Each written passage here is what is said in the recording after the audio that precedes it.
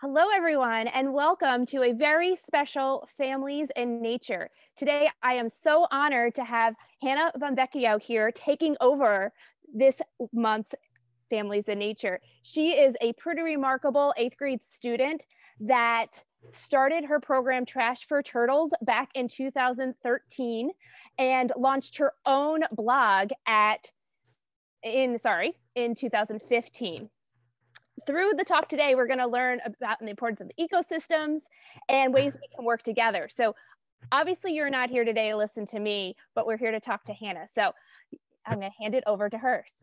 Oh, don't forget today, they're in the chat. I'm sorry, in Facebook, ask questions. This will be interactive as we go along. So make sure you put anything in there and we'll make sure that Hannah gets all of those questions. Okay, enough for me. It's now time to hear from Hannah. Okay, um, hi everyone. Uh, I'm Hannah Bonvechio. Uh, thank you all for coming out. Uh, I'm going to share my screen so we can see my little, oh, I don't know. How do we want to work this? On the bottom, it should say screen share. It says the host.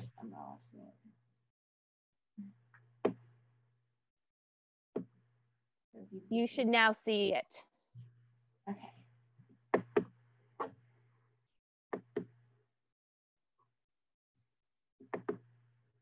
Okay, there we go. All right.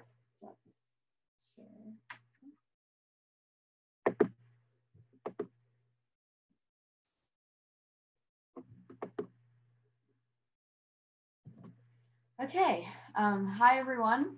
Uh, thank you for coming out today. Um, my name is Hannah Bonvechio, and I'm going to be talking to you all about my Trash for Turtles project. So a little bit about me before I talk about my project and some of the things I do. Um, I'm 13 years old. I'm an eighth grader at Pierce County Middle School. Uh, I love reading and playing soccer, and my favorite animals are sharks and sea turtles. Um, I also love helping the environment, which has led to my project. Um, that's an old picture of me there.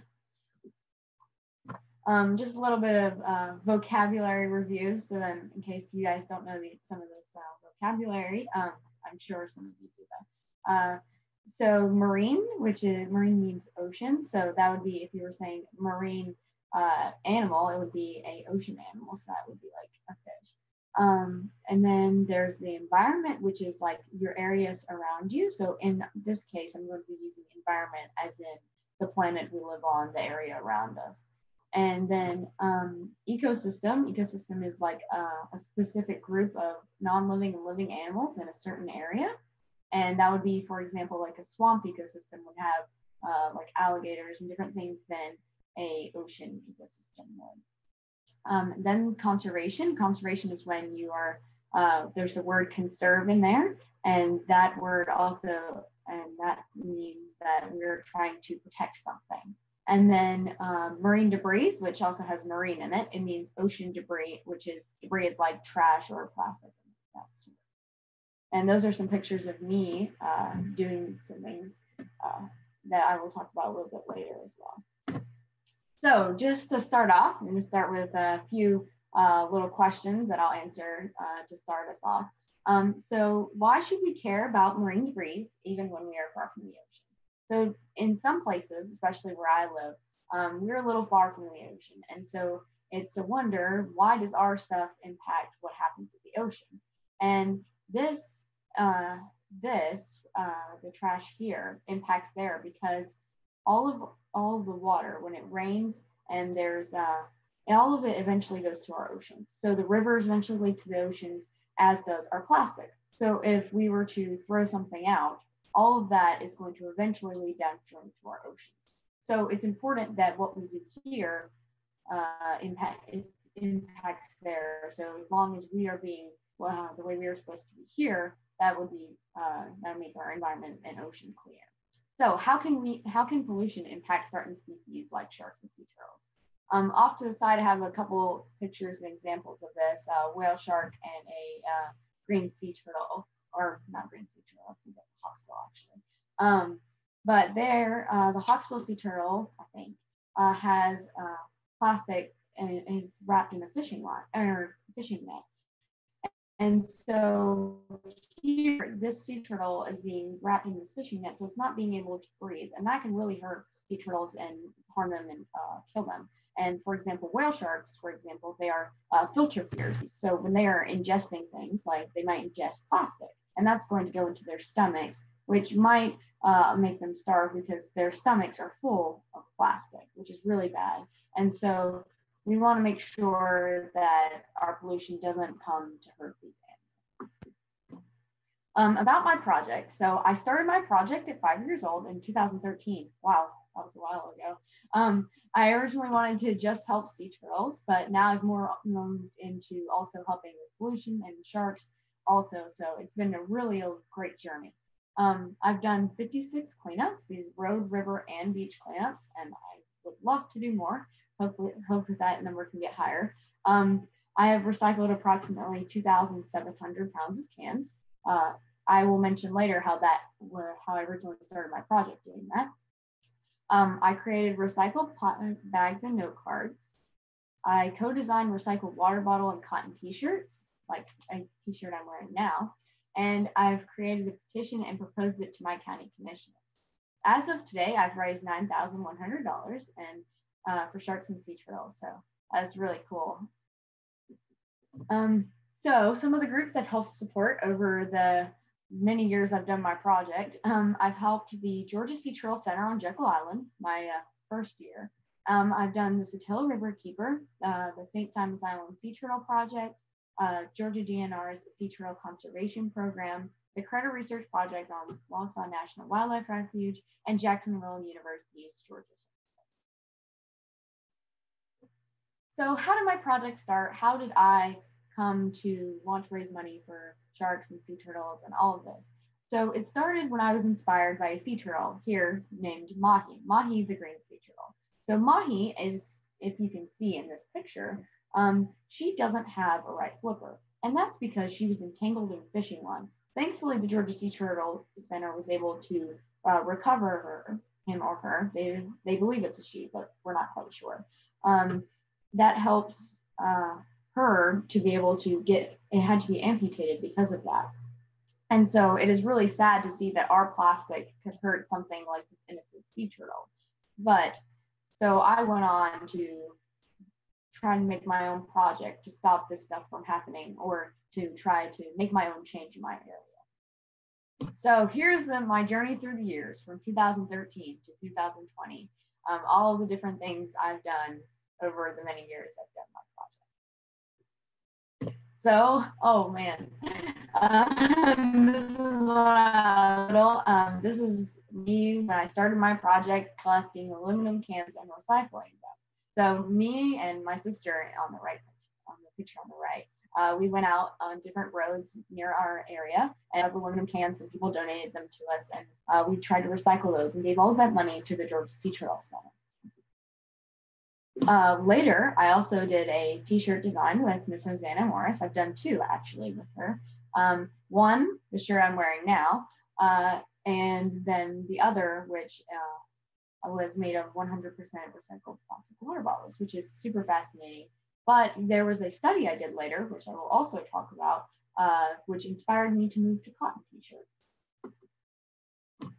So in 2017, I did a trashathon uh, this is a 10 mile cleanup from my house, county commissioner's office. I picked up a total of 4,805 pounds of trash and uh, 4,785 pounds of trash. And so uh, I picked that up with the help of a lot of different people in different groups. And I tried to go to my county commissioners and show them that these are our back roads, these are our county roads. And this is stuff that's this is our community that's being that's so trashy and disgusting and we need to do something about it and so this was me going to them to talk about that so this was the project part the gathering data part um, here it was really fascinating when i did this trashathon to see how people from the community were coming together to help support my project and uh, just done different cases, just all of us coming to pick it up. And as you can see on the right, just all the kinds of trash, disgusting trash we found on these side roads. The, uh, the recliners, the tires, the big things, mattresses, and then there was hundreds of cigarette butts and stuff, which is extremely disgusting, but uh, it shows that we really need to do something in my county. So I mentioned earlier that I moved to cotton t-shirts. Why is that? And that is because of this project I did. Um, when I was in fifth grade, we had to do a science fair project. And I was like, yo, cool, let's see what we can do. And so I decided to do a project um, that's called What's for Breakfast. And that was when I went to this creek, as you can see, that's very trashy on both those two side pictures. Um, and I looked and to see if these redfish, sunfish that were in this area were being impacted by all of this trash that was in uh, here to see if they were ingesting microplastics. Microplastics means small plastics. That's very tiny stuff. Sometimes you can't even see. Most of the time, you need the microscope. And so uh, I went and did that project. And through that, I was able to see that they were ingesting plastic. But although this was a little biased of the study because it may have been at my house, um, we did learn that this uh, fibers in our clothes, when you wash them, goes doesn't get filtered out. And so that's why when you have cotton t-shirts instead of like polyester, for example, they don't shred fibers. And so it is really cool to use cotton t-shirts and that's better for the environment. So that was really eye-opening for me. Um, I've done many cleanups rivers, as I've mentioned. One of these along the Satilla River, a river close to me in my area. And so this is just us going straight out, me and my sister, um, getting that trash straight out of the environment. And here is an example of how our trash here is going to eventually, through the Satilla River, go to the ocean. And that is just disappointing. But thankfully, some of this trash that we picked up that day did not when I did my trashathon, I went to uh, propose my thing to the county commissioners, tell them about all of the stuff that's wrong, all the trash and stuff that's in our area and how nasty it is and how we need to do something about it. And when I did this, I proposed to them and here, which I needed a stool, which is kind of funny because um, I was short. And, um, but I went to them asking what things they could do. And so later I sent them a follow-up letter, as can be seen on the right picture, um, asking, what did they do? What do we do? And um, though there was not a whole lot of action, I can really see that we're going to be able to do something about it. And it's really cool to see that uh, some, I was able to bring awareness to some people. I've done many fundraising uh, efforts over the years. Uh, here's a couple, this is just a collage of all the different things I've done. Uh, I wrote a book. I've designed T-shirts. I've done all kinds of different things, you know, straws, all different kinds of things as my project has progressed from the years. And it's really cool looking back on it to see all the different things I've done to help support uh, sharks and sea turtle research. So this year and last year, I supported the Caretta Research Project on Wassaw National Wildlife Refuge. Um, and here I'm with Miss Chris, and she was one of the ladies that works there. Um, but it is really cool for me to be able to fund their research because what they do is they uh, help these sea turtles that are that come up and lay on their nest and they research them to see and do different tests and stuff and try to see if these sea turtles um, different things and help them survive and conserve them. And so it is really cool to be able to support this group and support their efforts with that. So here's a couple examples of me sharing my message over the years from when I was little to now and doing booths and other things. Um, me being able to share with other people like I am now, a little bit about what I'm doing and some of the things you can do in your area to try to prevent trash and uh, try to prevent this, uh, try to keep our environment clean. So uh, another thing that's really uh, helped me over the years grasp this research here is I every year, except this year because of Corona, um, I've been able to go out with Mr. Mark Dodd with the uh, Georgia DNR Sea Turtle Program and look and see these sea turtles coming up on these beaches and seeing all the different kinds of research that they do there. And it's really cool to be able to see what all of our funding, some of the funding goes to. And that year, I set up one of the years I set up game cameras there to see what kind of predators were there, and that was another example of that. But it was really cool for me to be able to see that straight on what the research looks like. Here's an example of kids inspiring kids. So kind of like I'm doing now, some of you are kids, some of you may be adults, but here's an example of Olivia and Carter from One More Generation. If you haven't heard of them, they're a really big group. They work with penguins and uh, try to do and plastic stuff. And so it was really cool to see them when they were starting off their project, inspiring me to do my project. Another example of kids inspiring kids was during the 100 Miles Choosing to Lead conference last year um, with 100 Miles. Uh, so called Why Fit In When You're Born to Stand Out. I was on this panel and I was able to inspire other kids about my project, like I'm doing now, hopefully, and uh, also see these other panelists and other things they're doing in their communities. And it was really cool to be able to see that. So now I'm going to be talking about the present and future of conservation. So as Little Turtle here has said, I'm going to be talking about technology in different ways that because we're um, developing uh, as human beings and developing more technology that we've been able to use new ways to try and reduce plastics, reduce trash in general, trying to make our environment a better place.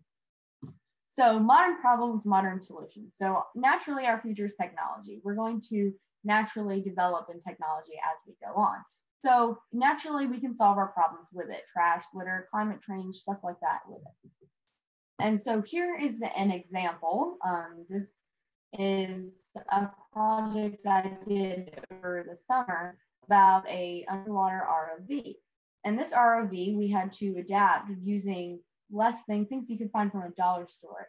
And we would adapt it to try to be able to pick up trash. And so it was really, it was really fun to work with, but also it's just a way to be able to see that our, all of our uh, technology, we can put it to good use.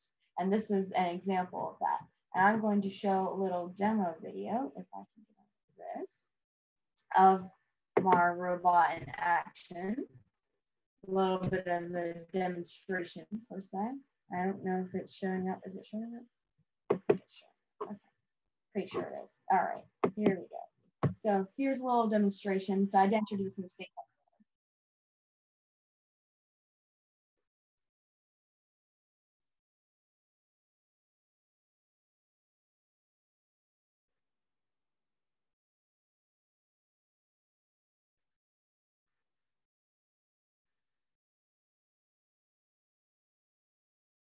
So here is us. Um, it's it can, might be a little hard to see because of the plastic bottle, but we put a little thing inside of it. So Hannah, if this, this, is a hi Hannah, it's Steph. If this is a different screen than your presentation, you're gonna have to re-share that as a different. Oh, okay.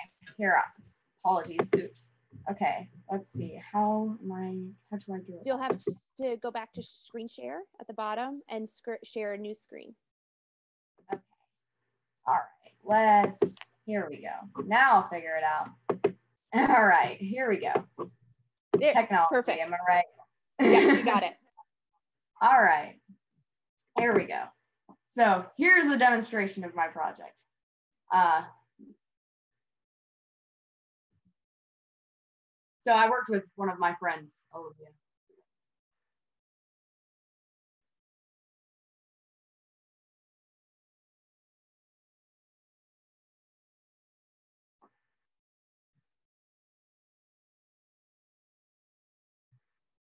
So, like I was saying uh, before, we can really see uh, this plastic ball here is being picked up by our little robot and it's our ROV, and it's showing that uh, we can use our technology to uh, make new change in our areas. So this is just a little demonstration of it, and so that was really cool to work with different items and stuff. Those are those six pack rings.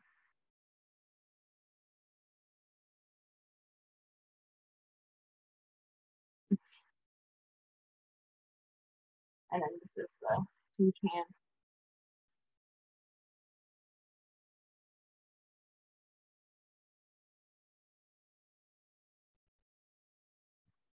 So that's just a little way of showing how our technology can be used in new ways. And so I believe I'm going to have so let's see, back to my There we go.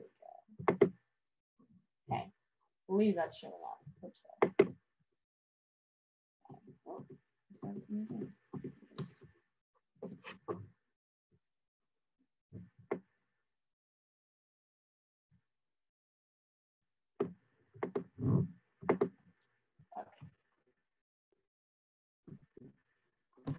All right, so here are some real world examples of uh, different ways technology is being used. And even though our little thing wasn't really exactly going out there to do things, but here are some examples of that actually being put in place. And so different, different uh, ways there over the years that people have been using technology to try to get rid of some uh, plastic in our oceans. So um, I'm going to talk about a little bit about Esperanza, and then we can do a little activity. Um, not sure, really sure how we're going to work this, I think through the chat or whatever. Um, but so Esperanza, uh, she was a loggerhead sea turtle on Wassaw National Wildlife Refuge. She nests frequently there. And um, her name means hope, and she was adopted through last year's project. Last year, we did a little name game type thing to name the sea turtle and to raise money for that. And so uh, Esperanza was through that. And um, I think uh, Miss Stephanie, I think you're going to do something with the chat to see if we can see how people can guess for the eggs. Yes, ma'am. I'm on. All right. So if you want to write in the chat um, little guesses about that, and then um, sure Miss Stephanie can pick out uh, which ones, a couple of different things, and then I'll show the little results of what we've found, or which ones, what act, how many she actually laid.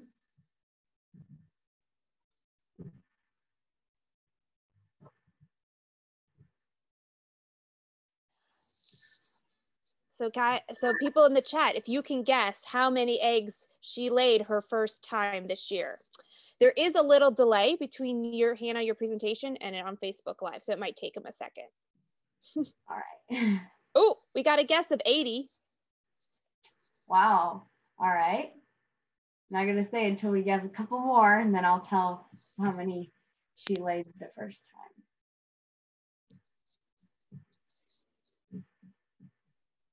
Uh, how about 75? I got that through text message. so I think it might be time to let them know. Oh, right. Rebecca just said 100. 100? That's a, these are all great guesses. Oh, another guess of 77. See, there is a little delay. cool. All right. Well, I'm going to reveal. There's another one. So if uh, you didn't participate the first time, you can participate again. Um, but uh, so the answer was on May 28th in 2020, uh, she laid 120 eggs. So this was her third time. She had two false crawls, but then she false crawl means she went up on the beach and then was like, nope, I'm not gonna lay today. And so she came back out.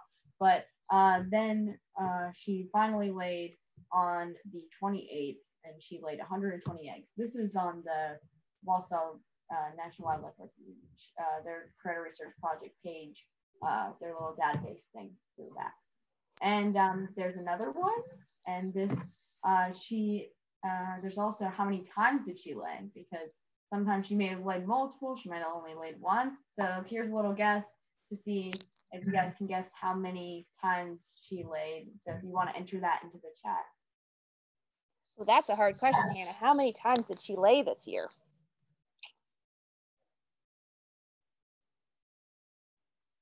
Let's see.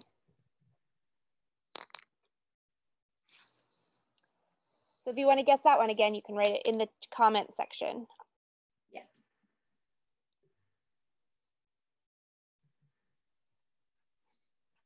Oh, we got it uh, five times was the first guess coming in. Okay. Great guess.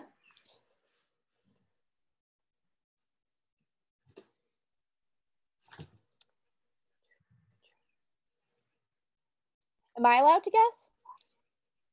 You can if you'd like to. Oh, actually, Rebecca Ann Brown, she just guessed four, and that's what I was gonna guess. well, that's cool. Um, no, those are great guesses. Um, so um, thank you all for participating. Those of you that oh, one more of three. One more. One more. Yeah, there was another guess all of right. three. Five, four, -hmm. three. Those are all wonderful guesses. Great job, everyone. she actually laid four. So great job to uh, the guest four because Um, she laid on May 28th. Oh, uh, June 11th, June 27th, and August 1st. And so here on the, the database, you can see that she laid 120 the first time, 126, 129, and then they aren't sure about how many she laid the last time. But that is really cool. So uh, great job to all of you that guessed. Um, so I'm not sure how we're going to distribute it. I'm sure Stephanie can contact those of you that guessed. Um, so for the winners, thanks to the Youth Ocean Conservation Summit, uh, thanks to their mini grant I received, um, I was able to give out shirts at things like these events. And though we weren't able to be in person, I'm really happy we could work this out through this.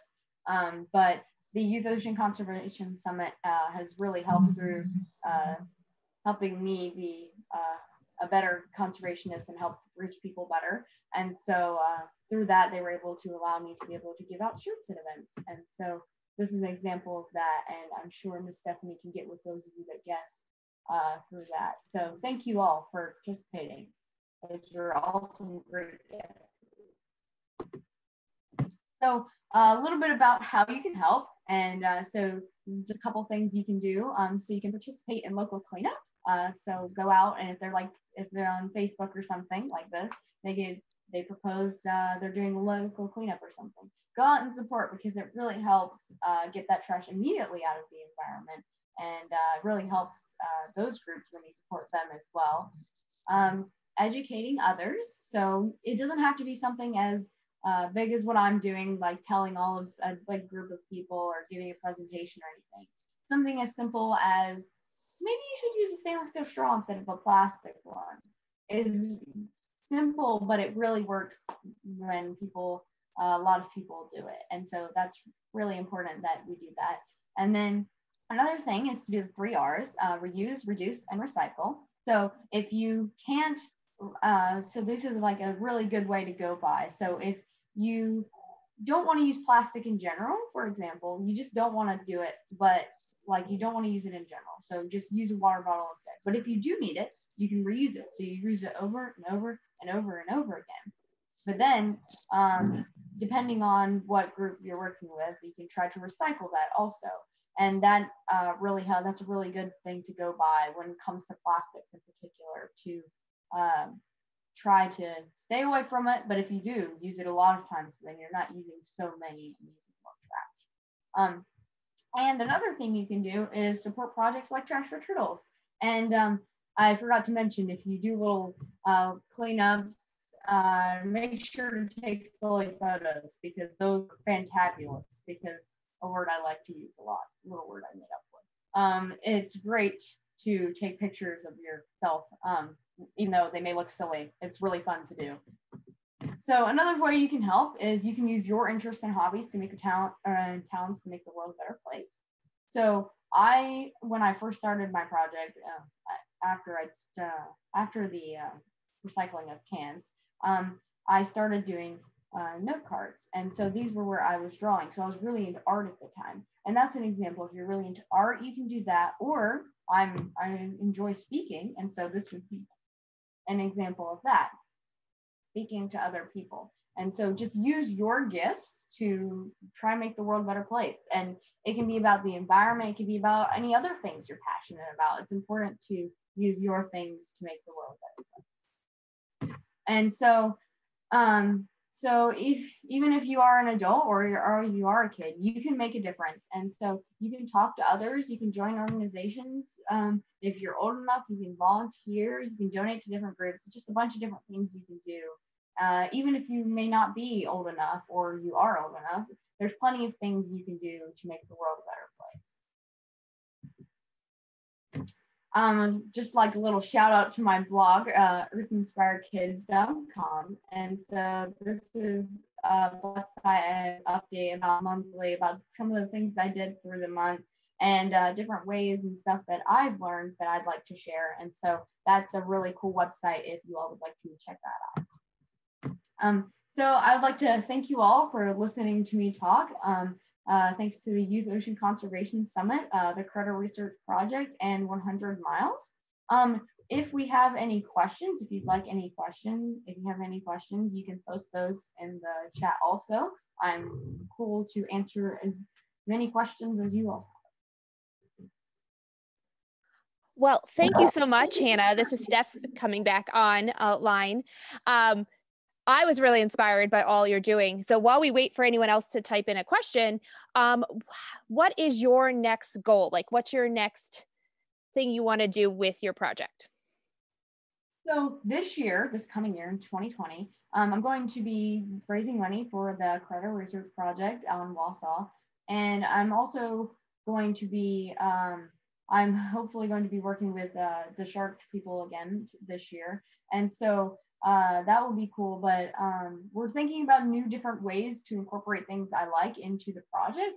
So now I'm really big into reading. So we're thinking if I could do like a reading type thing. We're not exactly sure exactly, um, not exactly sure exactly what I'm doing in this upcoming year, but uh, the goal for this year is to reach 10,000. And so that would be a big marker for this year. Well, if I have faith in you, you're going to reach that mark. Thank you very much. No other question has come in yet, but there are a lot of thank yous and good jobs coming in and how inspiring you are. So there's a lot of good compliments coming into you as well. Thank you all. I'm very happy to hear it.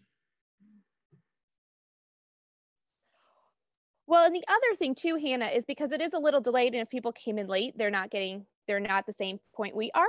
Um, yeah. If you do have further questions for Hannah, you can continue to post those, and ha- we can have Hannah answer them once they come in too. So um, yes, if there isn't any. Um, uh, we did have another comment just come in saying she loved this um, fantastic job and love seeing how your project has grown over the years. So we are all here rooting for you, Hannah, and we're so honored that you took the time to talk with us today and share all the good works that you're doing. Um, and we only hope, wish you the best eh, for you and the sea turtles as time goes on.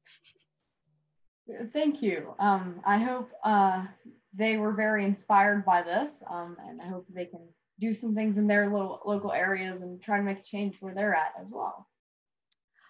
So um, thank you. Um, we're gonna let Hannah go for today, but again, continue to post questions in the in the comment section, and we'll make sure Hannah gets to answer those. Um, and just look forward to future families in nature, and we can't wait to see what you do, Hannah. Uh, on that note, everyone have a wonderful afternoon.